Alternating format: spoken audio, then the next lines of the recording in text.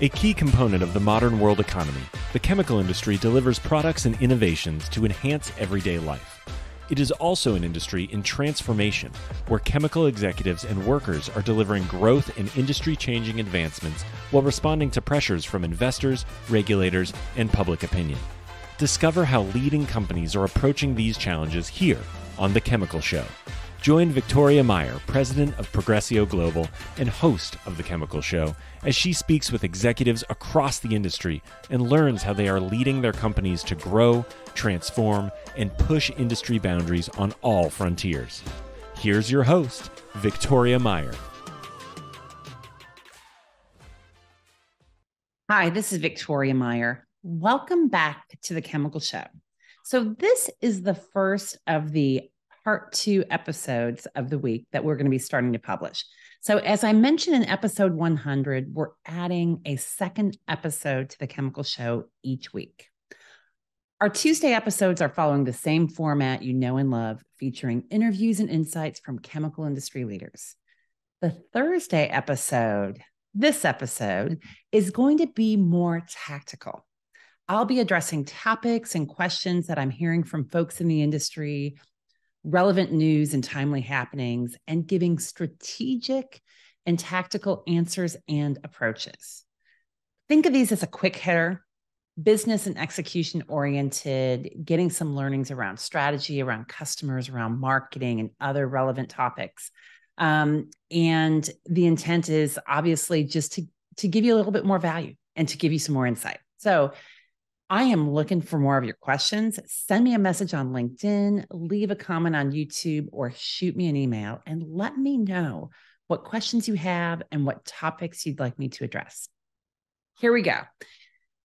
The topic I'm talking about this week is a question that's come recently from several business leaders that I've spoken with, some customers and clients that I'm working with that have basically said, why are we the last choice supplier? And how do we move up to first place or be the supplier of choice, right? Or even just be a regular supplier versus being a spot last chance supplier. So, the business leaders I, that I've talked with, let's be clear, they are first choice suppliers for many of their customers. But like many companies, they have a target customer, a target set of customers with whom they'd like to have a better relationship and be a bigger part of their business. You know, what they've told me is they call us when they're in a bind and it's last minute and they can't get what they need from anyone else. And we help them out. And then nothing, right?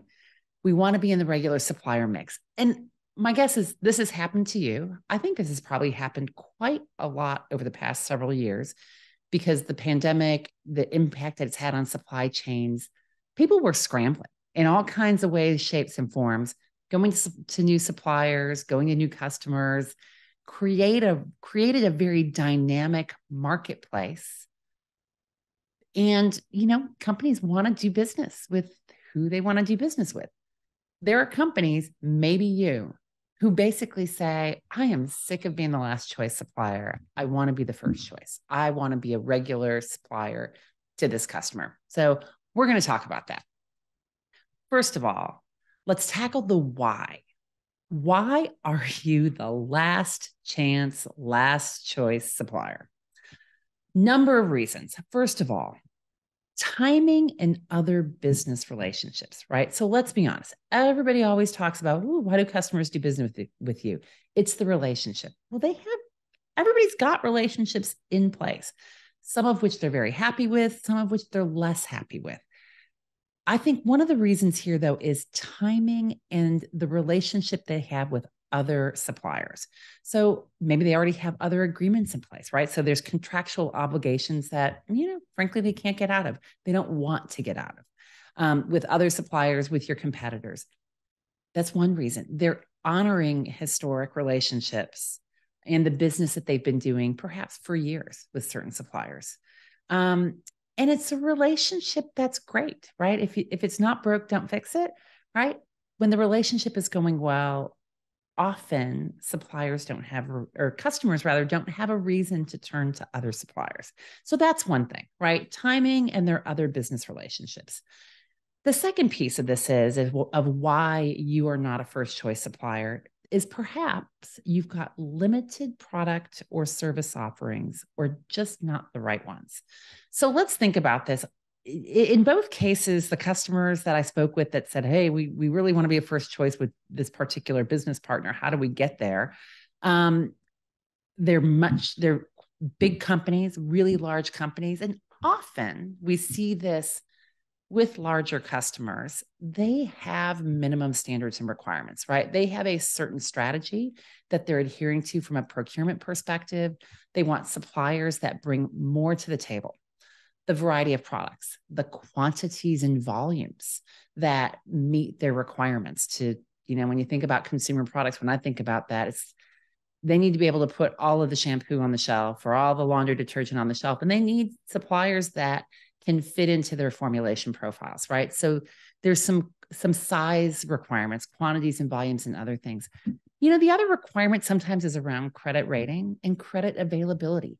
It is possible that you're not at the top of the list because you have limited product or service offerings or just not the right ones to meet their needs, right?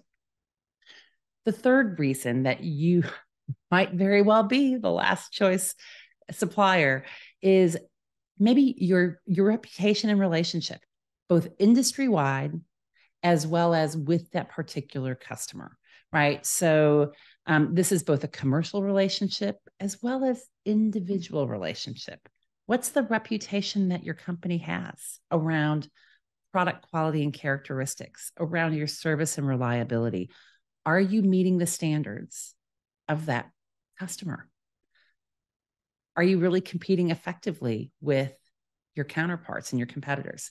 Right. So it's possible that your poor and less than ideal reputation and relationship is what's pushing you down the list instead of up the list. And then the fourth thing is really corporate style and fit. And, you know, I think we look at this and I look at this and you see companies, you're like, of course they do business together. They just match, right?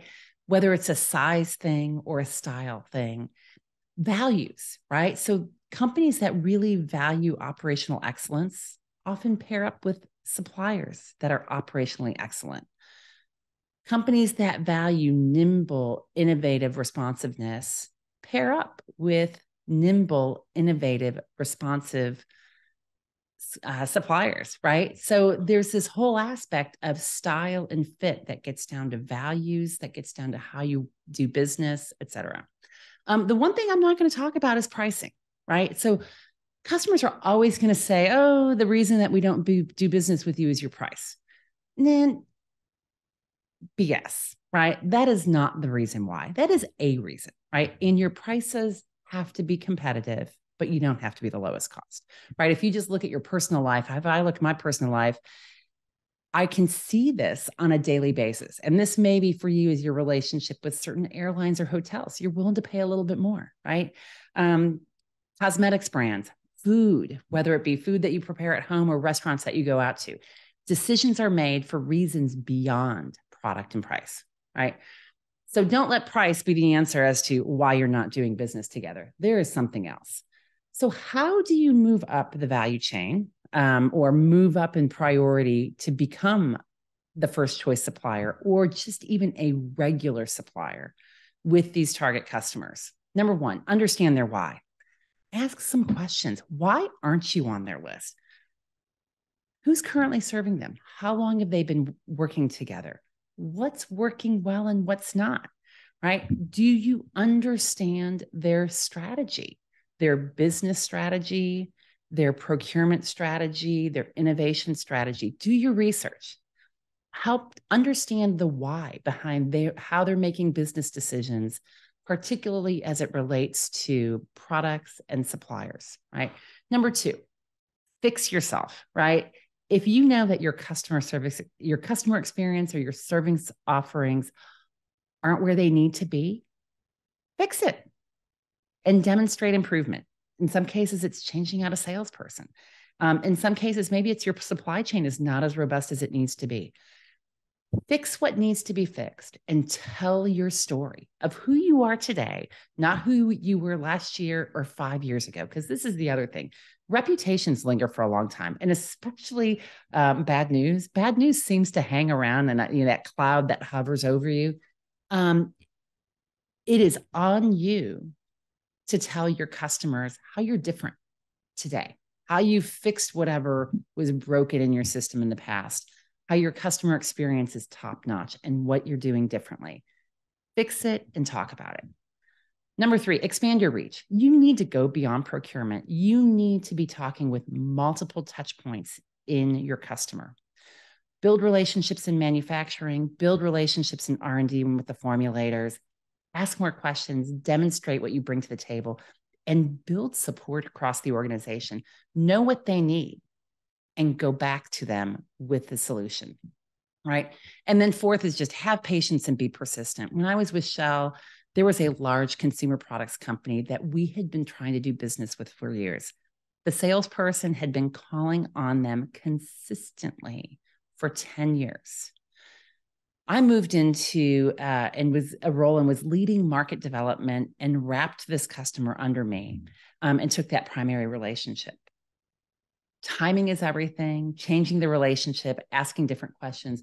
We started doing business with them for the first time in a decade. And then that business continued. Part of it was just good luck and good timing. Part of it was telling a different story. Patience and persistence will help. Don't be a pest because sometimes you can be a pest and that's no good. But being patient, being persistent, fixing these things, understanding their why, fixing your customer experience and your service offerings and telling your story, expanding your reach. All of those things are going to help you go from being the last choice to being eh, one of the first choices. Anyway, if you've had this experience where you've been the last choice supplier, let me know. What was it? How did you overcome it? Are you still working to overcome it? Um, again, shoot me a message on LinkedIn, send me an email, leave me a response on one of the platforms, whether it be the website or YouTube or elsewhere. Um, and I hope you like this. We will be coming back with you with more tips and tactics and strategies next week. Thanks for listening to The Chemical Show. We'll talk to you soon. We've come to the end of today's podcast. We hope you enjoyed your time with us and want to learn more simply visit thechemicalshow.com for additional information and helpful resources. Join us again next time here on The Chemical Show with Victoria Meyer.